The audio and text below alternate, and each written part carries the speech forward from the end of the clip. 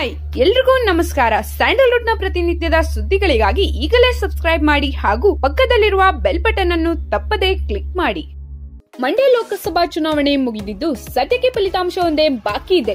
ಇತ್ತ ಪಕ್ಷೇತರ ಅಭ್ಯರ್ಥಿ ಸುಮಲತಾ ಪರ ರಾಕಿಂಗ್ ಸ್ಟಾರ್ ಯಶ್ ಪ್ರಚಾರ ಕೈಗೊಂಡಿದ್ದರು. ಇದರ ಬಗ್ಗೆ ರಾಧಿಕಾ ಪಂಡಿತ್ ಮಾತನಾಡಿದ್ದಾರೆ. ನಾನು ಯಾರ ಪರವೂ ನಿಲ್ಲಲಾರೆ. ಇದು ಜನರ ತೀರ್ಮಾನವಾಗಿತ್ತು. ಅವರಿಗೆ ಬೇಕಾದವರನ್ನು ಆರಿಸಿ ಕಳಿಸಲಿ. ಮಂಡ್ಯದ ಬಗ್ಗೆ ಮಾತನಾಡಲ್ಲ ಎಂದು ಹೇಳಿದ್ದಾರೆ. ಇದೇ ವೇಳೆ ಯಶ್ ಯಾವಾಗಲೂ ಯೋಚನೆ ಮಾಡಿ ಕೆಲಸ ಮಾಡುತ್ತಾರೆ.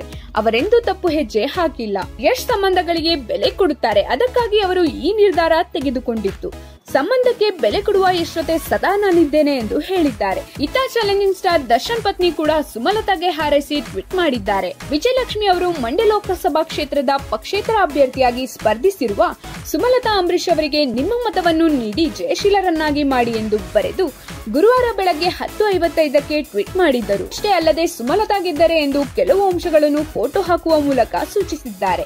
ದೇಶದ ಇತಿಹಾಸದಲ್ಲಿ ಲೋಕಸಭಾ ಚುನಾವಣೆಯಲ್ಲಿ ಮಹಿಳೆಯನ್ನ ಪಕ್ಷೇತರವಾಗಿ ಗೆಲ್ಲಿಸಿದ ಕೀರ್ತಿ ಮಂಡ್ಯಕ್ಕೆ ಬರುತ್ತದೆ. ಎರಡನೆಯದು ರಾಜ್ಯದಲ್ಲಿ ಆಡಳಿತಾರೂಢ ಮುಖ್ಯಮಂತ್ರಿ ಜಿಲ್ಲೆಯ ಎಂಟು ಶಾಸಕರನ್ನು ಹೊಂದಿದ್ದರು. ಸ್ವತಃ ಸಿಎಂ ಪುತ್ರ ಅಭ್ಯರ್ಥಿಯಾಗಿದ್ದರು ಹಣದ ಆಸೆ ಮಂಡ್ಯದ ಜನ ಮರುಳಾಗಲಿಲ್ಲವೆಂಬ ಕೀರ್ತಿ ಬರುತ್ತದೆ. ಕೊನೆಯದಾಗಿ, ಕರ್ನಾಟಕದ ಇತಿಹಾಸದಲ್ಲಿ ಪ್ರಪ್ರಥಮ ಪಕ್ಷೇತರ ಮಹಿಳಾ ಸಂಸದೆಯನ್ನು ಗೆಲ್ಲಿಸಿದ ಕೀರ್ತಿ ನಮ್ಮ ಮಂಡ್ಯಕ್ಕೆ ಬರುತ್ತದೆ ಎಂದು ವಿಜಯಲಕ್ಷ್ಮಿ ತಿಳಿಸಿದ್ದಾರೆ.